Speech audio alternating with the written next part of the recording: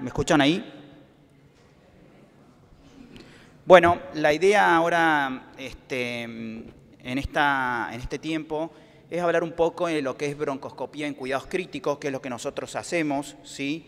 Estamos este, eh, bastante comprometidos con lo que es la broncoscopía en los cuidados críticos y lo que nosotros siempre mencionamos es que este, la terapia intensiva son poblaciones especiales, ¿no? es un grupo de pacientes especiales donde es muchas veces difícil llamar a un neumonólogo. Yo estoy de los lados, yo soy neumonólogo y terapista, así que voy a criticar a los terapistas y también a los neumonólogos. ¿no?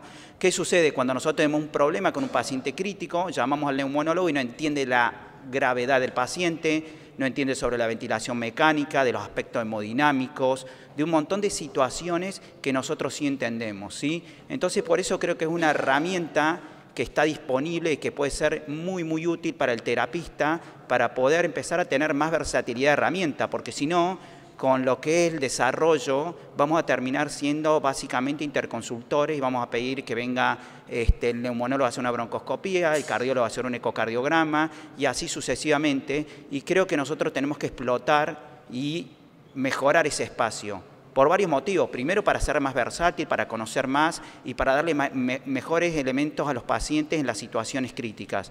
Y también por un tema que nunca se habla, de mejorar nuestros ingresos, ¿no? ¿Qué tiene de malo que yo tenga más herramientas para poder mejorar mis ingresos y para poder tener un trabajo mucho más, a ver, este, mm, eh, digno y para poder seguir desarrollándome? Si yo no tengo recursos, no puedo descansar, no puedo estudiar, no puedo formarse, porque acá todos los que vinieron de afuera tuvieron que pagar parte de su bolsillo, ¿sí? Entonces esto es re importante que empecemos a ver la medicina como algo más amplio, la medicina crítica, que la terapia intensiva no es un lugar donde se puede encontrar cerrado y que el terapista necesita salir de la terapia intensiva, buscar otras herramientas y comprometerse con otras áreas de la institución que le va a dar beneficio a la institución, a los pacientes y a uno mismo. ¿no? Entonces lo que tenemos que tener en cuenta del estándar de la broncoscopía en cuidados críticos es que este, hay una triada de las cosas que nosotros podemos ver. Inspección, la vía aérea, ver la vía aérea, después vamos a ir hablando y le vamos a ir mostrando viene un paciente con un trauma de cráneo y con un trauma de tórax y a nadie se le ocurre verle la vía aérea. Probablemente tenga un chicle, un pedazo de vidrio, tenga una telectasis, esté tapado con sangre. Después la toma de muestra, esto de tomar muestras con aspirado traqueal es útil, las comparaciones son buenas, pero bueno, si yo tengo una herramienta y puedo tomar una mejor muestra y hacer un toilet bronquial, es muy, muy bueno. Y después lo que es terapéutico, eso ya es un paso más adelantado, un paso más complejo, requiere más, de más formación y de distintos elementos que tienen que ver con la broncoscopía terapéutica, ¿no? en que si yo voy a tener canastillas, biopsias, criosonda, broncoscopía rígida. Yo le voy a mostrar lo que hacemos en general. No es que ustedes pueden llegar a hacer esto, pero para que vean que la terapia intensiva no es solamente entrar con una sonda, aspirar y dejar los pacientes. Hay un montón de herramientas que podemos ofrecer, ¿no? Y el punto clave es acá entender las consecuencias de la ventilación mecánica y sus complicaciones cuando yo voy a hacer una broncoscopía. La clásica es viene el neumonólogo, le baja la cabecera, le meten un bolo de propofol, le pone el ventilador como se le da la gana, entra, hace una broncoscopía y se va. Y a las dos horas el paciente está hipoxémico con alteraciones hemodinámicas. Tener en cuenta que lo que yo hago, la intervención que yo haga en el paciente crítico, va a tener consecuencias cardiorrespiratorias que pueden durar hasta seis horas después del procedimiento. ¿sí? Y como punto clave, tener en cuenta siempre el diámetro del tubo endotraqueal y el diámetro del broncoscopio. Si yo voy a usar una herramienta, es como usar ropa, recién lo mencioné. Tengo que conocer el tamaño de la herramienta que voy a usar. Si yo tengo un broncoscopio de 7 milímetros y tengo un tubo de 7, no va a entrar, por más que hago fuerza. Si tengo un broncoscopio de 5 y un tubo de 6,5, va a entrar, pero va a saltar a presión pico. Entonces, conocer el tamaño de mi broncoscopio, el canal interno de mi broncoscopio, cómo se conecta, el diámetro del tubo endotraqueal. Yo siempre cuando le pregunto a los médicos, che, ¿y qué tubo tiene? No, no sé. ¿Y qué traqueostomía tiene? No sé. Debemos conocer eso porque es importante la información con respecto a eso. La mortalidad en las broncoscopías en los pacientes críticos es muy baja, tanto la mortalidad, pero siempre siendo cuidadoso. Y lo que yo le decía, es un complejo de pacientes de terapia intensiva que son situaciones especiales. Todos los pacientes de terapia intensiva tienen una situación especial no es el paciente que entra caminando ambulatorio a un quirófano, sino que es otro tipo de paciente. por eso, intubar a un paciente de terapia intensiva es más difícil, más complejo, porque tienen edema, porque tienen deterioro sensorio, porque no tienen reserva cardiológica o pulmonar. Este, hacer una intervención en un paciente de, terapia intensiva con broncoscopia es distinto, poner un catéter es distinto.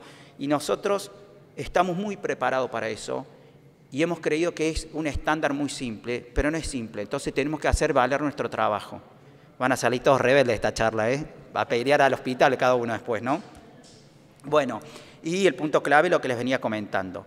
Checklist, nosotros, nosotros, yo soy un poco obsesivo con este tema, con el tema de medir, de controlar y de tener datos. Tengo que tener datos de lo que yo hago. Yo tengo que tener datos porque yo a fin de año, ¿cómo sé que hice bien las cosas? ¿Por qué, qué, qué tal somos broncoscopitas? Soy fantástico. ¿Y cómo sabe eso? Y porque creo que soy fantástico. Bueno, mostrame los números. Cada vez que yo hago una broncoscopía tengo que poner por qué la hice, cómo la hice, cuánta sedación utilicé, cuáles fueron mis complicaciones. ¿Para qué? Para que cuando yo hago un análisis pueda decir, che, me equivoqué en esto, ¿dónde puede estar mi plan de mejora? ¿No? Nosotros eh, eh, hicimos un análisis hace tres o cuatro años y nos dimos cuenta que todas las complicaciones de la broncoscopía las generamos nosotros, porque usábamos mal la sedación. Hacíamos un bolo de propofol y la complicación más frecuente era la hipotensión cambiamos y empezamos a usar ketamina más midazolam. ¿Se entiende? Entonces, esta mejora que vamos a hacer camino a camino solamente se logra midiendo y teniendo información. El checklist súper importante, los que quieran los checklists están eh, disponibles, esto es de una universidad de Australia, nosotros lo utilizamos y para cada paciente siempre hago un checklist. ¿Alguno hace checklist en sus procedimientos o instituciones? Levante la mano cuando van a poner vía central, hacen un checklist. Si van a intubar, hacen un checklist. Si van a hacer un lado bronquiolivar, hacen un checklist. ¿Y por qué cuando vamos al quirófano hacemos el checklist? ¿Cuál es la diferencia? Bueno, pensar eso, ¿no? ¿Cuál es la diferencia?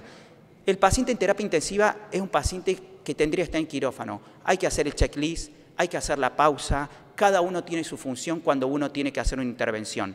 Estos checklists están disponibles para el que los quiera, ¿sí? Tenemos checklist lavado bronquialveolar, donde miren las indicaciones, las contraindicaciones. ¿Qué le pido? Che, este, pedirle eh, los cultivos. Van y le piden todo lo que no tenían que pedirle. Bueno, tener una batería para qué cultivos pedirle. ¿Cuál es el rol de enfermería? ¿Cuál es el rol del kinesiólogo? ¿Cuál es el rol del médico? Esto es súper importante. Esto es estandarizar, tratar de que todos los procedimientos sean igual, independientemente de cada lugar, independientemente de cada paciente. ¿sí? Traqueostomía percutánea, súper importante. ¿Cuál es el rol del, cirujano? ¿Cuál es el rol del, ayudante? ¿Cuál es el rol del médico? ¿Qué pasa si sangra? Típico, sangre el paciente y nadie sabe dónde está la caja de sangrado. ¿Sí? Bueno, hay un lugar con un código de sangrado, sabemos dónde está la caja de sangrado, hay un lugar, el rol de enfermería, cómo es el cuidado post-traqueostomía. Estas cosas son simples, pero si uno no las tiene anotadas, se las olvida. Y mientras más experiencia tiene uno, más se cree que no se va a olvidar las cosas. ¿sí? Entonces, volver siempre, volver al análisis. Y más que la mayoría de nosotros estamos en lugares de formación, uno cuando está en la vida, lo que tiene que hacer siempre es exigir al de arriba. Nosotros tenemos cambiado los roles. Viene un jefe, un subjefe y nos exige al de abajo. Es al revés. El residente, el médico de planta, el médico coordinador tiene que exigir para arriba. Tiene que gastar su tiempo de exigirle al que está arriba. Y el que está arriba tiene que exigirle a sus pares. Y muy poco exigirle al de abajo, sino controlar que las cosas se hagan bien. ¿sí? Porque es la única manera de que los, este, los flujos de información funcionen correctamente. ¿Qué sucede? El jefe unidireccional baja línea todo el tiempo. ¿sí? Bueno, eso está mal. Hay que cambiar el modo de pensar para que podamos tener una mejor este, calidad de los resultados que, de las cosas que aplicamos. Y después estudio endoscópicas de la eglusión. ¿Quién hace endoscopía de la eglusión? ¿Cómo hacen las endoscopías de la eglusión en sus hospitales? El otorrino. Viene el otorrino, que por ahí, si tenemos suerte, es que lo que sabe es que es una traqueostomía, no tiene idea un paciente crítico, no sabe lo que es el delirio, no sabe lo que es analgesia y viene y le dice a usted cómo tiene que manejar un paciente crítico. Bueno, aprender. Nosotros estamos en capacidad para aprender a hacer un estudio de la eglusión, saber en qué momento es el mejor para hacerse en un paciente crítico, conocemos al paciente, entonces yo voy y le digo, hola Juancito, ¿cómo andás? ¿Querés que te hagamos hoy el estudio de la eglución?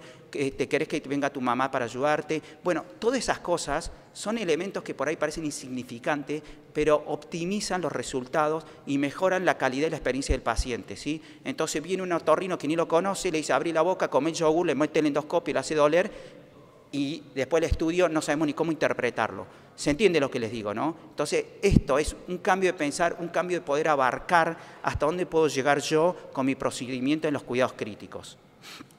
Bueno, nuestra experiencia, ¿no? Nosotros acá hicimos una experiencia, esto es viejo, ¿no? Del año 2017 al 2019, donde vimos cuántas broncoscopías hacíamos en la terapia intensiva. Generalmente por año hacemos entre 350 y 400 broncoscopías. Nuestro grupo, pero nuestro grupo no es nomás de terapia intensiva. Nosotros hacemos las broncoscopías en unidad coronaria, hacemos las broncoscopías en la terapia intermedia, en la unidad de complejización de pacientes crónicos, en la terapia intensiva y vamos al quirófano por pacientes nuestros que tenemos ambulatorio. ¿Se entiende? Salir de la terapia intensiva, empezar a abarcar un poco más, ¿sí? La mayoría de las broncoscopías las hacemos en pacientes ventilados, tenemos un concepto que nosotros no hacemos malas broncoscopías en pacientes despiertos. Si uno se hace una broncoscopía, si uno se hace una veda, se duerme. ¿Cómo no se va a hacer una endoscopía despierto, de, dormido? ¿sí? Y este, la mayoría de los pacientes eran bastante graves, como vemos ahí, con una edad bastante joven, ¿no? Las indicaciones, lo más frecuente de lo que teníamos era para la bronquialveolar y traqueostomía y las complicaciones, hipotensión, hipoxemia transitoria y sangrado, sangrado muy, muy leve. ¿no? Entonces, lo que nosotros concluimos que en la terapia intensiva lo más frecuente era hacer broncoscopía para la bronquialveolar, ¿sí? Y que era un procedimiento seguro. Esto era antes de la pandemia. Con la pandemia dejamos de hacer broncoscopía en lavado y empezamos a tomar muestra. Y ahora la realidad es que la broncoscopía en terapia intensiva lo más frecuente es para inspección de la vía aérea y para toilet bronquial y después para traqueostomía. Eso dependerá del centro, pero miren, yo le estoy dando información nuestra, ¿por qué? Porque la mido todos los años. Entonces, a final del año, al fellow le digo, vení, tenemos que hacer un análisis. Hacemos el análisis, lo presentamos y lo discutimos entre todos. Y eso es un plan de mejora siempre desde el punto de vista de la broncoscopía en los cuidados críticos. Traqueostomía con guía endoscópica, hay varias gente paisando. Nosotros fuimos a dar un curso de un día de la traqueostomía percutánea con guía endoscópica. Nosotros armamos un equipo, tenemos muy buena relación con los cirujanos de tórax y donde cada uno tiene su rol. Entonces nos llaman y dicen, che, necesito una broncoscopía para tal paciente, lo llamo al cirujano, el cirujano viene y ya tenemos todo preparado y hacemos el procedimiento en combinación. Hacemos un procedimiento modificado, que yo les voy a mostrar cómo es el procedimiento. ¿no? Acá hay un trabajo que hicimos con 235 traqueostomías percutáneas, este, miren la tasa de complicaciones. Sangrado menor, 2.1. Sangrado menor es que aspiro y deja de sangrar. Hipotensión, 1.3%. Hipoxemia, 0.4%. Y ven a decir, che, a ustedes no se les complican. La verdad es que se nos complican muy, muy poco. ¿Por qué? Porque cada uno tiene su función, cada uno tiene un rol en la intervención y porque cumplimos los checklists a rajatabla. Y porque el cirujano que viene a hacer la broncoscopía, la traqueostomía, no es el R1 viene cirujano que hace trasplante de pulmón. Entonces entender que intervenir la vía aérea no la puede hacer cualquiera, porque cuando se complica el paciente se muere. ¿sí? Entonces no le digo, che, llamen al jefe de servicio, pero tratar de mejorar los rollers y mejorar los equipos. Todo lo que yo pueda hacer en equipo va a tener muchísimos mejores resultados. La medicina no va más en forma individual, es trabajo en equipo. ¿sí? Bueno, yo acá les voy a mostrar de cómo es nuestra técnica de, de traqueostomía percutánea paciente sedoanalgesiado con hiperextensión, hacemos lavado con eh, clorexidina jabonosa, después le hacemos una limpieza con yodo povidona, ¿sí? Tapamos a todo el paciente en el campo, ¿con esto qué pasa? Lo hacemos en la terapia intensiva, nos ahorramos la hora quirúrgica, nos ahorramos el traslado y nos ahorramos renegar con los anestesistas. Van a decir que estoy en mala onda con el anestesista, el otorrino, con el neumonólogo, ¿no? Bueno, ahí está mostrando el campo donde se va a hacer la traqueostomía percutánea, se mide dónde está el maniquito external, ¿sí? Este es el set, nosotros usamos set de dilatador cónico único, puede ser set de dilatador este, progresivos, se puede usar el set que quieran, nosotros porque es el set que usamos en el hospital. Se hace una cervicotomía transversa, suprasifoidea, nosotros hacemos una técnica quirúrgica, abrimos la piel, abrimos el tejido celular subcutáneo, disecamos los planos hasta llegar al platisma o los músculos pretraquiales y ahí exponemos la tráquea. Una vez que exponemos la tráquea, hacemos la punción. ¿sí? Ahí van a ver cómo el cirujano marca la distancia, ¿sí? cricoides, manguito external, busca por abajo el cricoides y marca transversalmente. ¿sí? Va a ser una incisión quirúrgica después con electrobisturi. Obviamente que esto no se puede hacer en todos lados, pero a veces cuando uno tiene las posibilidades por hacer un equipo combinado es bastante útil.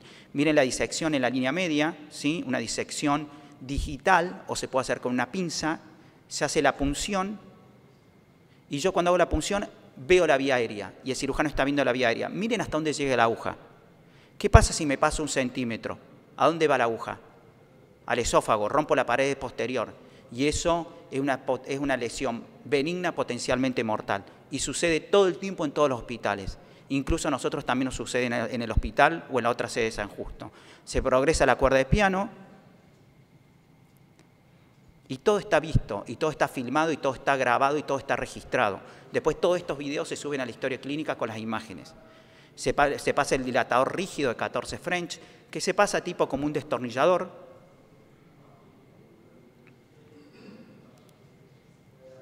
Y después se pasa el dilatador cónico, ¿sí?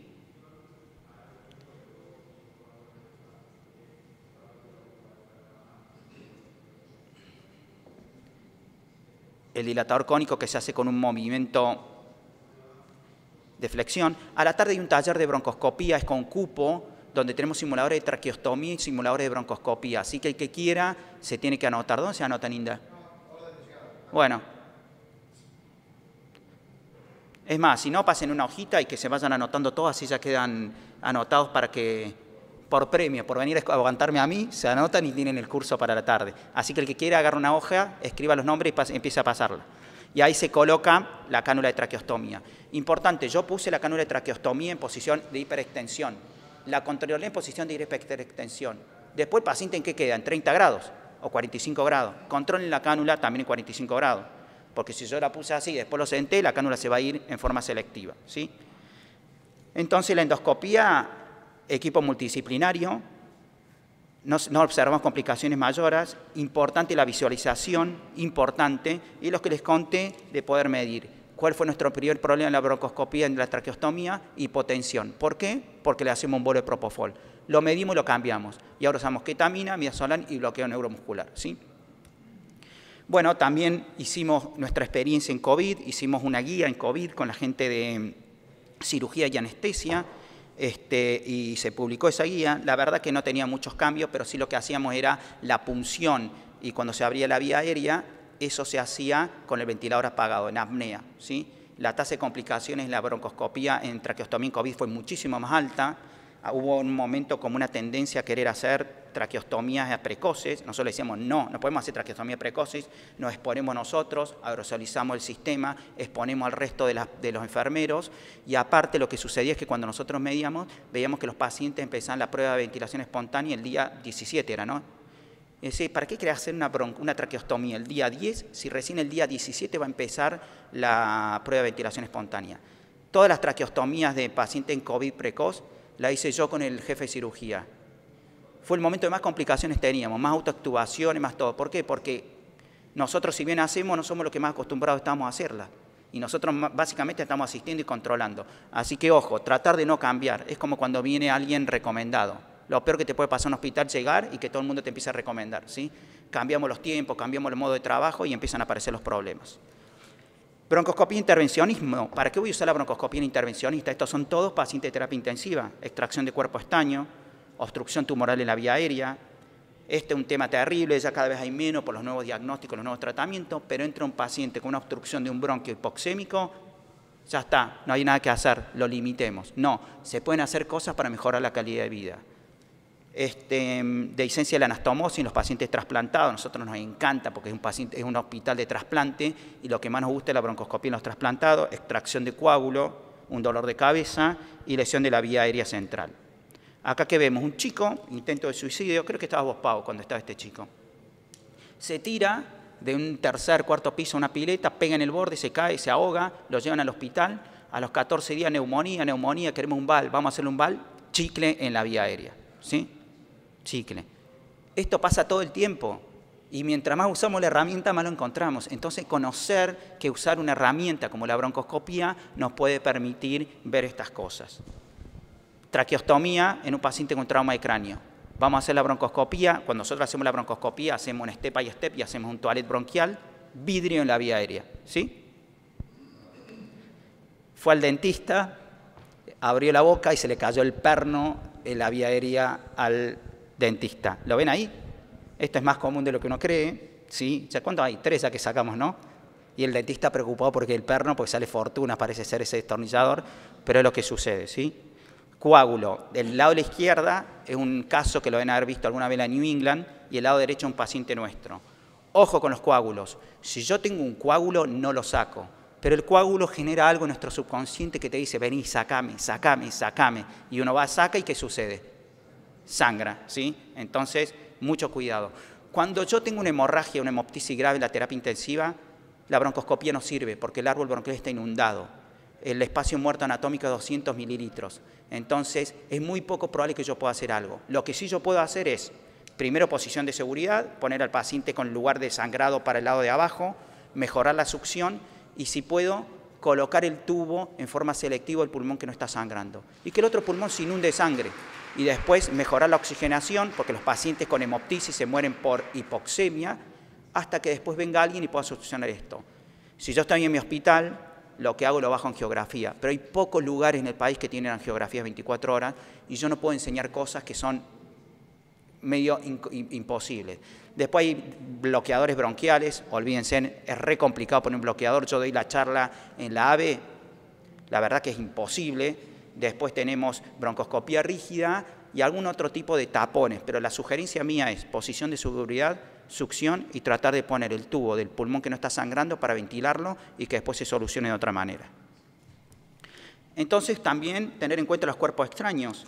Cuerpos extraños chicos o pequeños los puedo sacar con canastillas, con biopsia.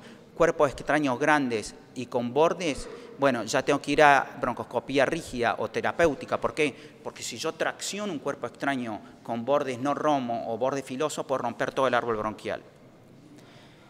Este, mm, bueno, venimos hablando de la embolización, broncoscopía intervencionista y cáncer, ¿sí?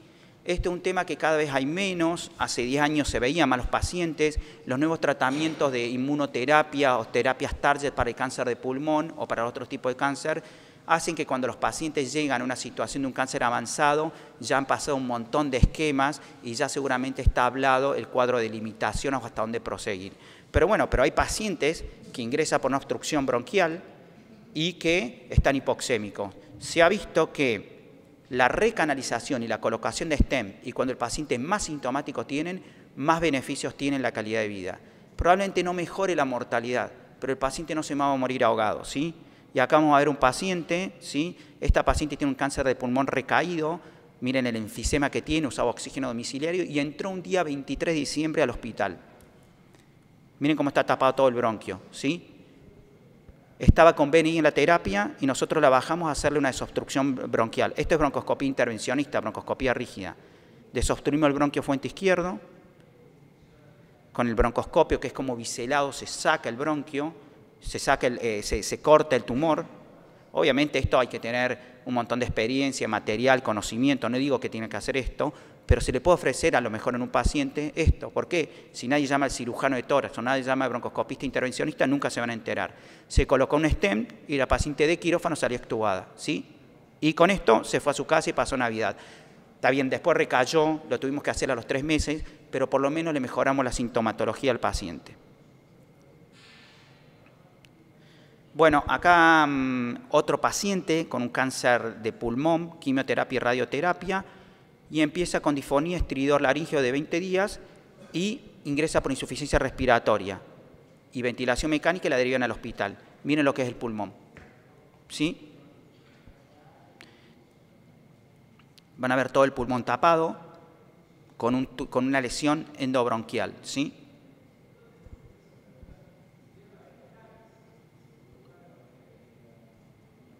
Bueno, esta paciente bajó con ventilada al quirófano y se le hizo una broncoscopía rígida con desobstrucción de la vía aérea, ¿sí? Van a ver el tumor, ven que el tumor tapa todo. Bueno, se le desobstruyó a la mujer, se sacó el tumor, se extubó y se fue a su casa.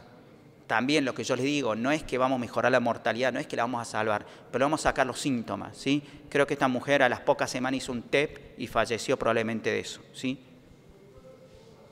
Estas cosas están, la mayoría de los hospitales grandes tienen esto, pero si yo como terapista no conozco que existe esto, ¿cómo voy a llamar a, los médicos que hacen este procedimiento? Entonces mi idea es que ustedes entiendan todas las herramientas que podemos tener desde el punto de vista del intervencionismo pulmonar ¿Para qué? No para hacer una broncoscopia rígida, sino para poder ofrecer estos, estos tratamientos a un grupo específico de pacientes. Fístulas. ¿Ven muchas fístulas en sus hospitales? ¿Sí? ¿Y qué, es un hospital de trauma? Bueno, la fístula bronquial, el tratamiento es quirúrgico. No hay una discusión sobre es quirúrgico o no es quirúrgico. Toda fístula de tratamiento es quirúrgico. Pero el paciente crítico está infectado, está desnutrido, está ventilado. Entonces, en ese grupo de pacientes ya es más difícil poder intervenir y definir cuándo voy a hacer un tratamiento quirúrgico o si lo voy a hacer de forma broncoscópico. ¿Por qué pueden ser las fístulas? Pueden ser por ruptura alveolar espontánea, una recontra común, el mal manejo ventilatorio, ¿sí? otras por enfermedades respiratorias, una neumonía este, absedada, este, un paciente con enfermedad intersticial o con enfisema, sobre distensión, alvirene advertido, una clásica, bolsa máscara, el ambú. Trasladan pacientes con ambú, trasladan pacientes con ventilador de traslado. Lo que sucede, el ventilador de traslado es caro, entonces los hospitales y los sistemas se niegan a poner un ventilador de traslado. Y yo voy con el ambú haciéndole fuerza. Cada vez que hago fuerza puedo meter hasta 400 milímetros de mercurio en la vía aérea. Eso rompe, rompe el pulmón, rompe. Entonces cuando tengan disponibilidad de un ventilador de traslado, traten de usarlo. Es molesto porque hay que buscar la tubuladura, hay que pelearse con el enfermero, con el kinesiólogo, nunca tiene batería, empieza a hacer ruido, pero es muy importante que las instituciones tengan ventilador de traslado es la única manera de evitar el daño, porque si no yo estoy haciendo este paciente con distrés, hacemos un ateneo, ventilación protectiva, discutimos de la curva, del trigger reverso, estamos cinco horas hablando y después cuando hay que llevar una tomografía lo llevo con un ambu. Todo ridículo, ¿sí? Todo lo que quise evitar lo terminé rompiendo por no ser atento a un pequeño detalle, ¿sí? Entonces esos hay que tenerlo en cuenta. Después, injuria directa, trauma penetrante, resucitación, laceración, biopsia, cirugía es poco frecuente, vía central muy poco frecuente, tubo pleural, y la verdad que hay que ser bastante eh, rústico para romper un pulmón con un tubo pleural, y biopsia transbronquial o cepillado tampoco es frecuente. Pero miren esto que van a ver ahora. Una chica van y la van a operar de colecistectomía en una provincia litoral. Sale con el motor lateral y el cirujano le dice, llévatela ya a Buenos Aires, porque se ve que conocía al anestesista. ¿Ven lo que le pasó en la pared posterior del esófago, de la tráquea? ¿Lo vieron o no? Miren, miren cómo se abre.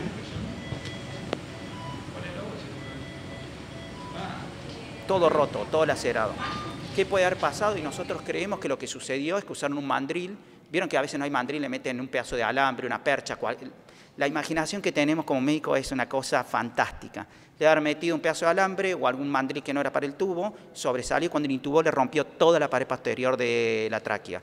Esta chica tuvo que tener una cirugía, músculo intercostal con un colgajo y tuvo que tener dieta parenteral 14 días. Le fue bien, pero estos son los pacientes que se mueren, ¿sí? Se murió por la anestesia, no, no se murió por la anestesia, por, un, por una iatrogenia terrible. Este es un paciente nuestro, traqueostomía percutánea sin guía endoscópica. Miren lo que le pasó. Esto es una lesión mortal. Directamente acá no se puede hacer nada, ni poner stem ni nada.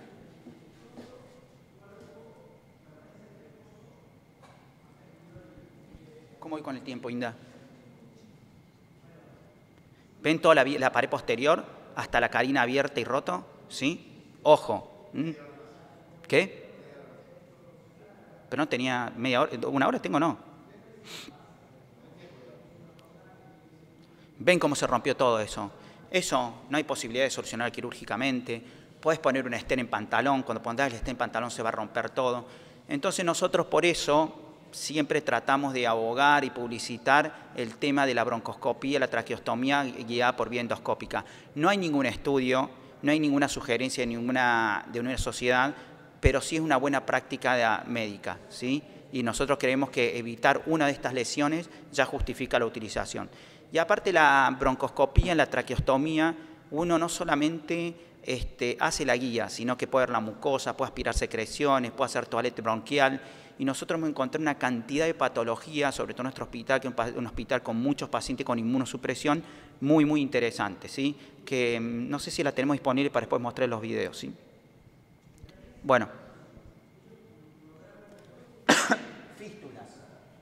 Tratamiento, cuando la fístula, bueno, ¿qué dijimos? Todas quirúrgicas, ¿no? Después no digan que yo le dije que tenía que poner la gotita a la fístula o esas cosas, porque este, yo muestro lo que hago broncoscópicamente, pero lo que hay que hacer con una fístula es tratamiento quirúrgico. Como no se puede tratar quirúrgicamente, vamos a los tratamientos endoscópicos. Tratamiento endoscópico, si tiene más de 8 milímetros, stents, coils, nunca usé, one platzer. ¿Sabes lo que es una platzer? Es como un parche que se pone en, las comunicaciones intracardíacas, ¿sí? Es como, a ver, es como una trampa de oso, ¿no? Una trampa de oso, se pone un lado y el otro y se cierra una comunicación. Bueno, yo nunca la he visto, es muy cara, es poco probable que se la puedan autorizar para esto, pero bueno, se ha utilizado en algunos casos. Y menos de 8 milímetros podemos usar material ocursivo, los cianacrilatos, cualquier tipo de cianacrilato, o bien otros tratamientos esclerosantes, como pueden ser las tetraciclina, el polidocanol, de terapias ablativas como el plasma argón, o bien válvulas endobronquiales. Las válvulas endobronquiales salieron básicamente para la fístula aérea persistente, el problema es el costo, se pueden poner con broncoscopía flexible, es muy simple ponerlo, pero cada valvulita sale 10 mil dólares, ¿sí? Entonces es poco probable poder acceder a ese tipo de tratamiento. En un momento se va a hacer mucha fuerza para usarlo para el enfisema, ¿sí? para enfisema, para, para reducción volumétrica, y bueno, ya medio que este, no estaba autorizado y la FDA lo autorizó para poder usarlos ahora, ¿no? Chica de 29 años, no me voy a olvidar nunca más esta chica, politrauma, requerimiento de ventilación mecánica en Santa Teresita y la derivan a los 10 días. ¿sí? Cuando viene al hospital, viene con esta tomografía, absceso de pulmón, neumotórax, ¿sí? y la llevan al quirófano. Le hacen una lobectomía inferior derecha, una traqueostomía y una toilette por el empiema que tenía.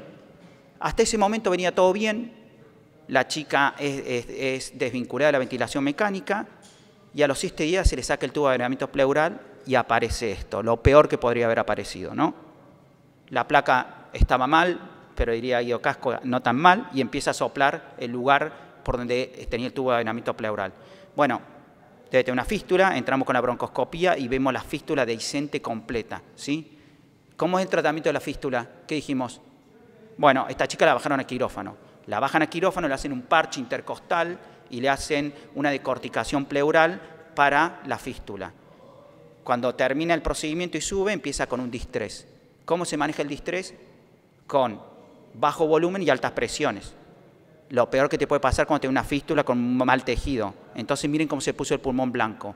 Entonces el pulmón no se ponía a extender y no podíamos ventilarlo. Y empieza a soplar, soplar, soplar. Hipoxemia se sopla, sopla, sopla. Entonces lo que hicimos tenía una membrana de circulación extracorpórea y un ECMO y le pusimos Surgicel más Dermabón. De la cianacrilato nosotros usamos dos, el Dermabón que es, de, es uno que se utiliza para, mm, este, para las lesiones de la piel, o el histocril, que el histocril es un poquitito mejor porque uno tira el líquido y se pega y, y cuando toca la mucosa se seca. Bueno, ahí van a ver la mucosa toda alterada del bronquio, lo pusimos con broncoscopía rígida en la terapia, pusimos Surgicel con, eh, con Dermabom, y ahí no se ve más la pérdida cuando hacemos una presión, cuando medimos la, con una pausa inspiratoria y tampoco se ve la fuga. ¿sí? Y a las 96 horas le hacemos una endoscopía y miren qué bien que se ve. La lesión, la mucosa mejoró porque nos quedó inflamada y todo bien. Acá qué sucedió, se los voy a contar porque nunca cuento el relato final la chica estaba con un ECMO y la discusión era si la llevaban y la operaban o no la operaban. Yo en ese momento dije, miren, yo no estoy para tomar la decisión, empezaron a discutir, vino el cirujano que estaba de vacaciones y dice, yo la tengo que operar. Ya se iba a morir de cualquier cosa, porque me parece que ya tenía demasiadas alteraciones y fallas orgánicas, y cuando hacen la incisión en la piel sangra y fallece desangrada, ¿sí? Entonces, por eso muchas veces los tratamientos combinados con broncoscopía o con cirugía hay que buscar bien el momento justo. Estas son anécdotas, no son tratamientos estándares, pero me parece que es reinteresante poder mostrarle esto a la gente que hace terapia intensiva y lo que vengo diciendo, ¿no? Abrir un poco más la cabeza. La cabeza es como un paracaídas, hay que abrirlo para poder encontrar más cosas. A ver esta. Otro paciente, trasplante unipulmonar derecho por fibrosis pulmonar, y múltiples complicaciones, ventilación mecánica. Bueno, los pacientes trasplantados, el bronquio, el, bronquio tiene doble circulación, circulación de la arteria pulmonar y circulación bronquial. Cuando yo trasplanto, trato, saco la circulación y trato de dejar la mayor cantidad del bronquio receptor, porque está con la circulación, y el bronquio del donante no tiene circulación. Entonces, en los próximos días, en forma distal a, cefálica, se va a formar neoangiogénesis, y eso le da la perfusión. Si el paciente está infectado, está con ventilación mecánica, con corticoide, y la neoangiogénesis va a ser mala y va a tener una disencia como tiene este paciente. ¿Ven la disencia como burbujea? Aparte tiene lo peor que puede tener. Disencia y aspergilosis pulmonar. Abajo de la, de, la sutura bronquial está la arteria. Entonces, si hay un hongo, la arteria también se termina complicando. Acá tiramos cianacrilato pero histoacril. Lo tiramos con un catéter. Lo bueno del histoacril es que cuando cae en la mucosa se seca. Hay que ser cuidadoso porque lo que puede suceder es que puede tapar el bronquio y es un plástico, es la gotita. Si ustedes tienen eso, tapa el bronquio y no, y no podemos progresar más.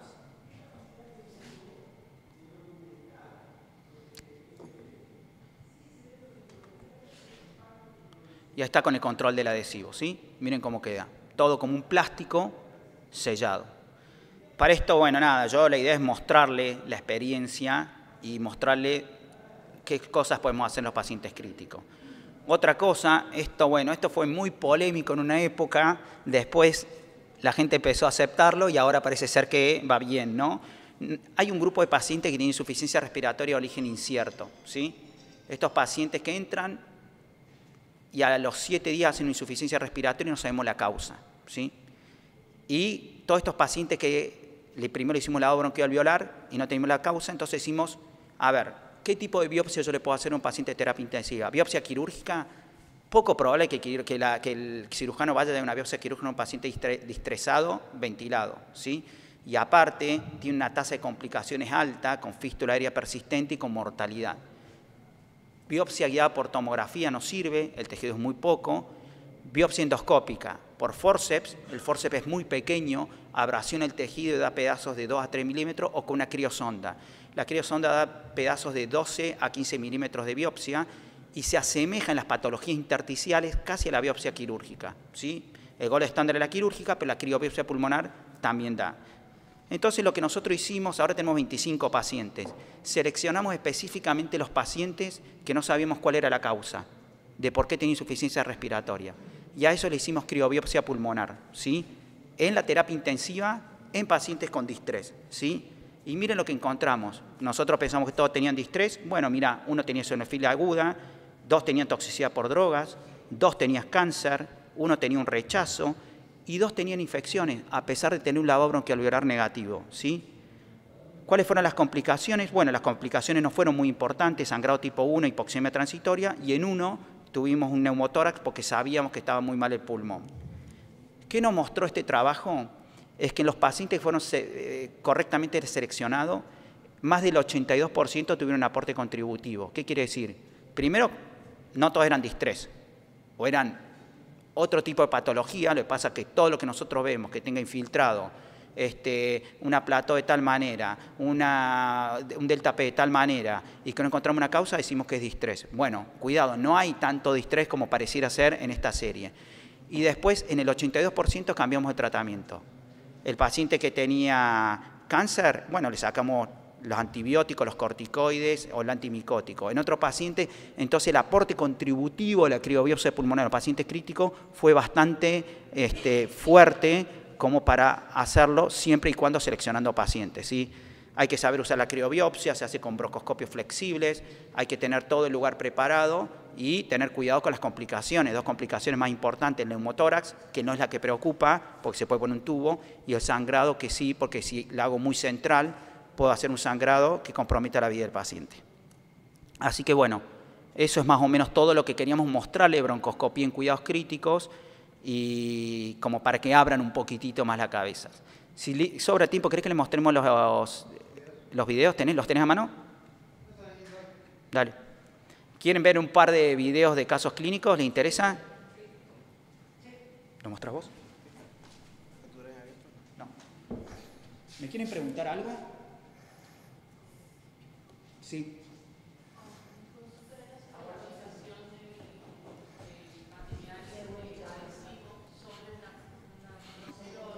Para que no te escucho así. No, no pasa nada, tranqui.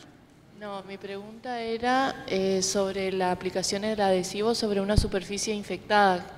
¿Cambia...? Mira, no hay ninguna evidencia. Ya te digo que usar adhesivo, la evidencia es muy, muy poca. la mayoría de estos pacientes suelen estar infectados, ¿sí? Pero nada, vos lo tirás y se pega.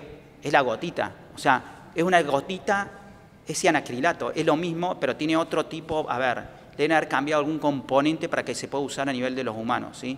El mejor es listocril. Yo te digo listocril, lo tirás como la gotita, lo puedes poner un catéter y cuando toca la mucosa mojada se pega. El dermabón no se pega en la mucosa mojada.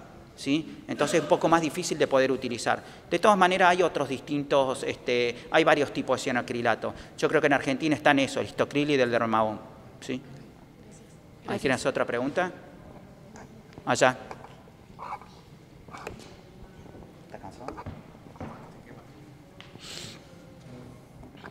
Un chiquitín tarde, pero te quería preguntar dos cosas. La primera es em, si cómo, cómo hicieron en cuanto al proceso del aprendizaje, si ustedes digamos, lo enseñan de, superiores e inferiores, el tema de la broncoscopía, nosotros por ahí hago pediátricos, pero tenemos alguna cuestión cuando quisimos empezar a aprender a hacer broncoscopía, hay como una traba, ¿no?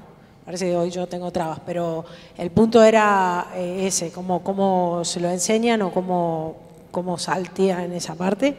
Y la segunda es cómo, eh, por ahí, eh, cómo se manejan con las atelectasias o lavados específicos para tratar de mejorar el volumen pulmonar. A lo mejor mencionaste algo al principio y te vuelvo a decir, un poquitito tarde, pero esas eran mis dos preguntas. Bueno, parece que te hubiera mandado yo, porque la realidad es que nosotros damos un curso de broncoscopía en cuidados críticos, el jueves y el, viernes se da en el hospital, así que los que estén interesados todavía hay cupos, ¿sí? No sé si hay muchos cupos, pero hay, ¿sí? Mira, yo hice primero terapia intensiva y después hice broncoscopía. Eh, hice neumonología y me especialicé más en broncoscopía. Lo que suele suceder, que es lo que yo veo, que no quiere decir la realidad, es que lo que le decía, la terapia intensiva cerrada el neumonólogo no entra acá, el oftalmólogo no entra acá, pues yo soy el dueño de la terapia, y el neumonólogo va y dice, uh, esto que vienen a joder para pedir un estudio a cualquier horario. Entonces, esa situación de choque evita que haya una coordinación entre los equipos médicos. Pero bueno, yo estaba de los dos lados del mostrador. Entonces veía algo, iba a buscar el broncoscopio y lo hacía. Y los de neumonología decían, che, qué bueno, tenemos un estudio más para facturar. Y los de terapia me decían, che, qué bueno, este flaco nos saca los, los problemas todo el tiempo. Después de eso, yo hace mucho tiempo hago esto, este, yo estoy en la Sociedad Argentina de Broncosofagología, en la Sociedad Mundial, y hay un curso llamado Trade Trainer, que es como un entrenamiento de broncoscopista. Y en los últimos cuatro o cinco años hicimos un curso muy enfocado en lo que es broncoscopía en cuidados críticos. ¿sí? El curso básicamente es para alguien que no tiene formación y lo que permite primero es lo más importante es conocer las indicaciones, conocer las complicaciones, conocer la seguridad del procedimiento. Y después lo que tiene es enseñar el step by step, una forma sistemática, secuencial de cómo explorar el árbol bronquial paso por paso.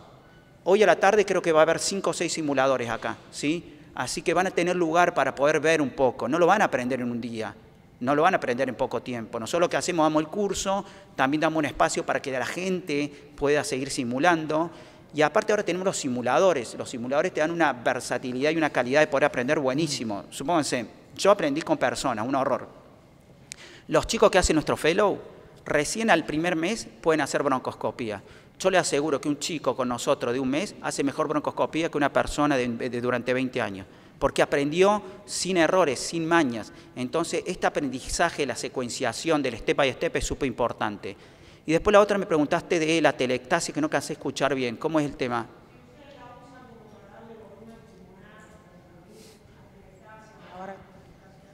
Ah, en algunos pacientes. Mira, eh, hay, hay como un concepto que para mí es viejo y un concepto que se, que se generó en Estados Unidos, porque en Estados Unidos una broncoscopía sale una fortuna. Entonces yo decía, no, es lo mismo efectivo la kinesiología que la broncoscopía. ¿sí? Y la realidad es que muchas veces los pacientes están con humificación activa, correctamente ventilados, con mucha kinesiología, y uno entra y están todos tapados de secreciones. Nosotros usamos muchísimo la broncoscopía para toilet bronquial, muchísimo. Después, ojo, o sea, si voy a hacer un toilet bronquial, tratar de no tomar muestra y mandar a cultivar, porque después la interpretación va a ser errónea. Saber qué hacer con lo que uno encuentra y qué hacer con la información que tiene.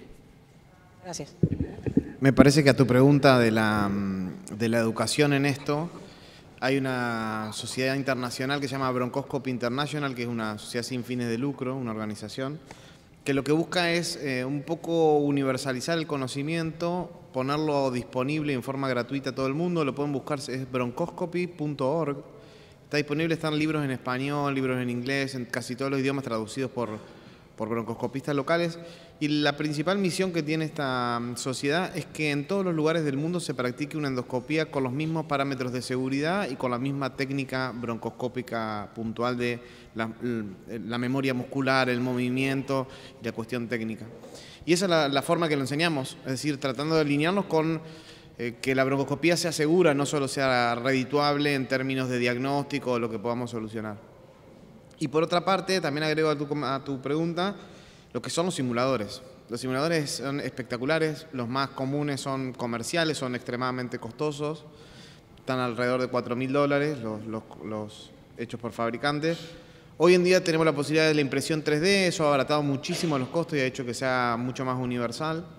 Y por otra parte hay simuladores híbridos, o sea que tiene una cuestión, una parte manual, pero después se proyecta el movimiento en forma digital.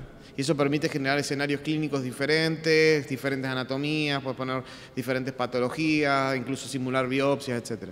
O sea que bueno, hay un camino de aprendizaje y de educación en esto muy rico para explorar. Lamentablemente a veces estamos lejos por algún tipo de recursos, pero sin dudas entrar hoy en día a una persona a hacer una endoscopía por primera vez no, no parece ser el mejor abordaje educativo. Probablemente haya que pasar por horas de simulación antes de poner una persona a un operador nuevo. Les voy a mostrar un poco los, algunas cosas que encontramos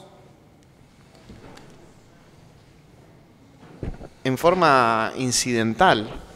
Lo que decía Marcos, esta, esta charla es una de las primeras del curso que damos y es de inspección de la, de la vía aérea. Un poco primero contar los reparos anatómicos, cómo se ve la mucosa. A ver si lo...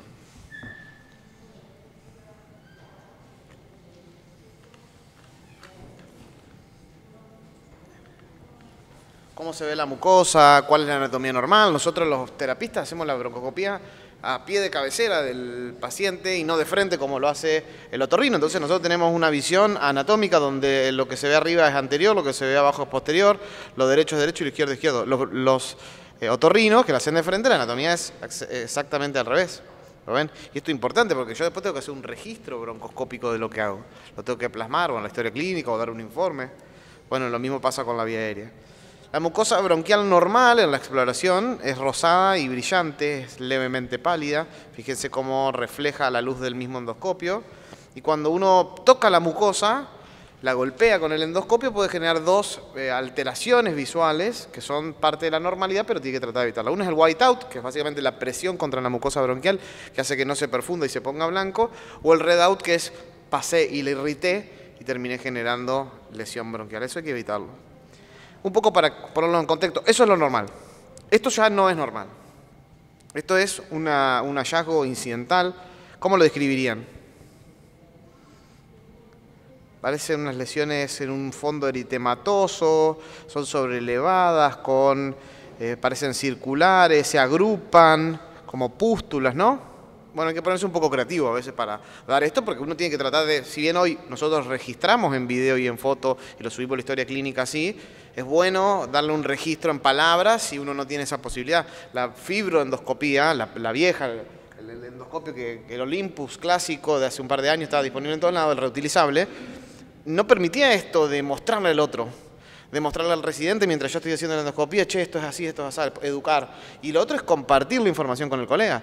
Yo, esta fue una traqueostomía de, rutina, fuimos a hacerle, como íbamos a la traqueo, entramos con el endoscopio, encontramos esta lesión y dijimos, che, qué raro, no, no les recuerda, ¿a qué, ¿a qué patología les recuerda la piel? ¿No se le ocurre que puede ser? Yo la vi y dije, esto es un herpes, así. Para mí es un herpes, dije, no sé por qué. Pumba, biopsia, herpes 6. Una pincita le tomamos, nada. Bueno, también la sobre estar atento, ¿viste? La atención de, decir esto me parece, no me parece normal. Bueno, tuvimos un poco de suerte, porque si no era herpes, quizás no lo diagnosticamos, hicimos un lavado bronquialveolar. Pero esto es un hallazgo. En un paciente crítico está con fiebre, hacía alguna febrícula, no se chocaba, no empeoraba, no lo podían resolver, winning prolongado tráqueo y terminó siendo un herpes. En un paciente inmunosuprimido, ¿no? También reunía ciertas características. ¿Esto qué es? ¿Qué se les ocurre?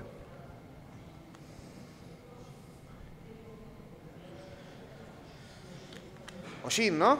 Este es un paciente quemado, dice la, la me lo lleva a la, terapia y me dice, no, inhaló un poquito, pero está bien, la paciente, mirá, está bien. Hola, ¿cómo está? Hola, me dice la paciente. la, intubamos, entro con el endoscopio inmediatamente, post-intubación, y encontramos esto.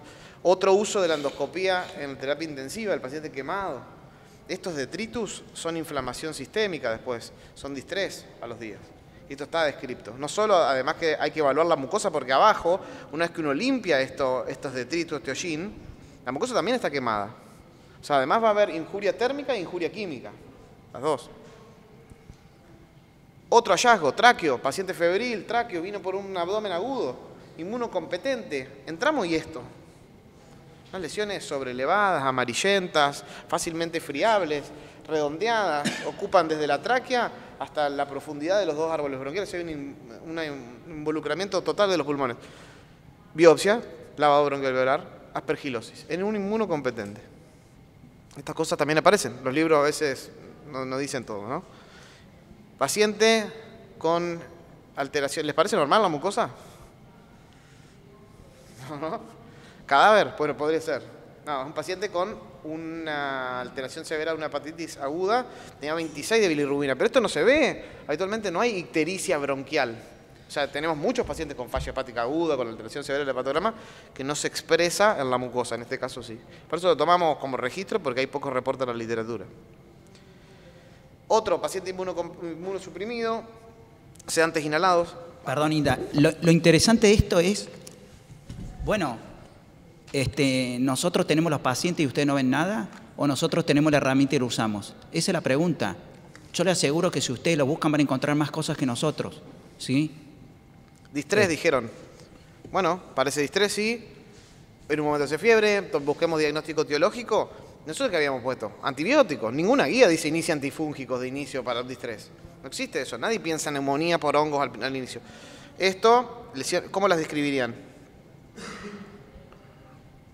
A ver si agarraron el lenguaje. Son lesiones que involucran la carina, involucran la tráquea, fuentes distales, involucran los bronquios hacia distal también. Impresionan algo sobrelevadas, pustulosas, sobre un fondo eritematoso, ¿no? como una frutilla parece en un momento, ¿no? Bueno, tomamos una biopsia, acá la pinza de biopsia, que siempre la tenemos en el carrito donde vamos por si ocurren estas cosas y aparecen. Pum, histoplasma, histoplasmosis pulmonar. Diagnóstico y tratamiento esa misma tarde.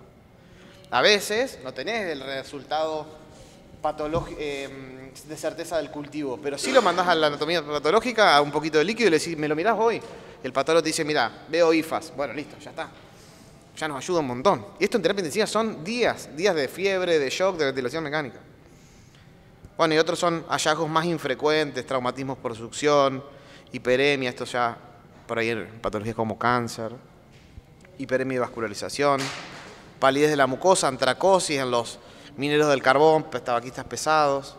Petequia, estas lesiones se las hacemos nosotros, pasando con el endoscopio. A veces vemos las bandas posteriores de la mucosa que nos ayudan esta inspección directa, nos ayuda a saber si es anterior o posterior. Esto siempre es posterior, es la cara posterior de la tráquea y los bronquiofuentes. A veces son muy prominentes en un hallazgo normal. Miren esto.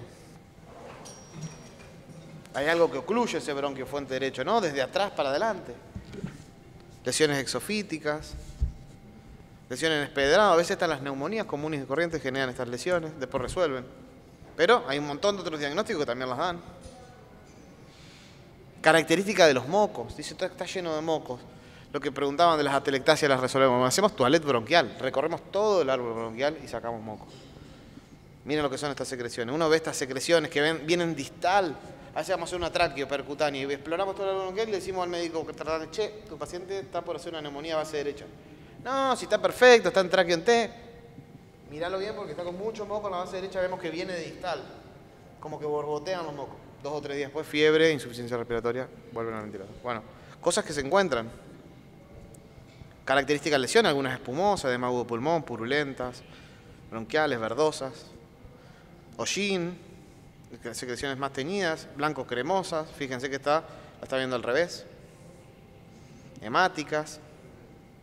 Hay un montón de lesiones que uno puede ir describiendo. Esto a veces los cuerpos extraños en terapia intensiva también se ven así, se, se rellenan de fibrina y se tapan y esto hay que destaparlo, ver qué hay detrás.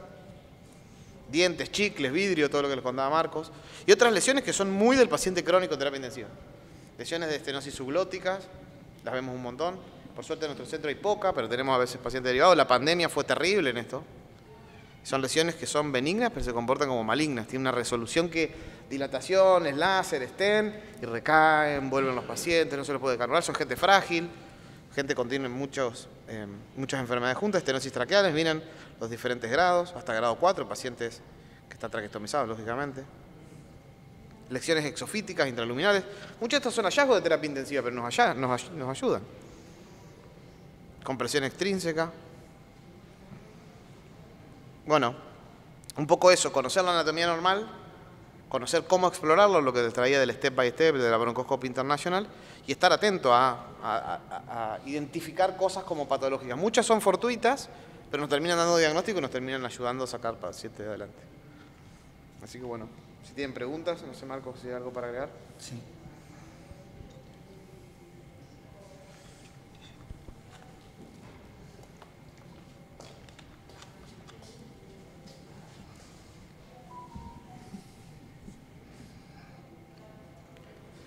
Bueno, ¿alguien quiere hacer alguna pregunta? Bueno, ¿a qué hora es el taller? A las 3 de la tarde. A las 2. ¿Dos? Bueno, le dejamos un espacio para que descansen y nos vemos a las 2 de la tarde. ¿Sí?